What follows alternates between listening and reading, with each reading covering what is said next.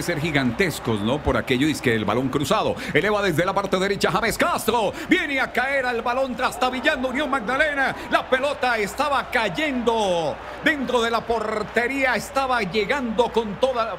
Gol. La pelota al marco le pega finalmente. Indica el juez central. Le pegó, llegó, llegó, llegó. Gol. Gol.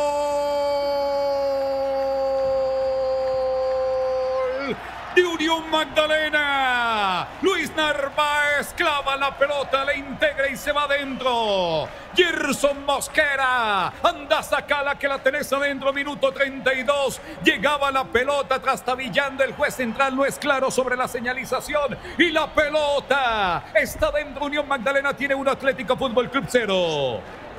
Bueno, ahí está pues la posibilidad para el 1 por 0 del Unión Magdalena, el centro de James Taganga Castro aparece Narváez, pero al final va a ser autogol, creo, porque el defensor, estamos hablando del número 17, Luis Tolosa, le cambia completamente la trayectoria a la pelota.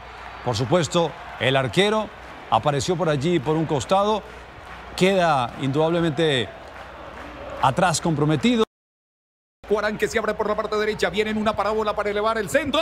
Mete Roda, llega la pelota al marco. Llegó, llegó, llegó. ¡Golazo!